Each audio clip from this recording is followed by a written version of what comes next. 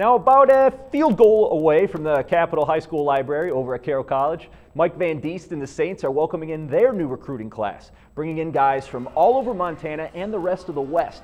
And Van Diest is, like all coaches at this time of the year, both excited and realistic of this year's new group of Fighting Saints. Um, everybody likes their recruiting classes this time of year. They look good on paper, but I like their personalities. I like their pizzazz that they carry with them. I like their their I, I don't know. There's just something about uh, individuals that you get to know them outside the football part of it. When they visit campus, you're at the school, you're in their homes visiting with them.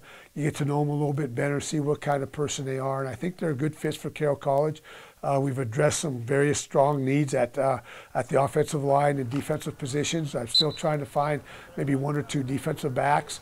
Um, you know, it all be you know it'll all come to to fruition this fall when they step on the field together as, a freshman core and see how they fit in with our older players.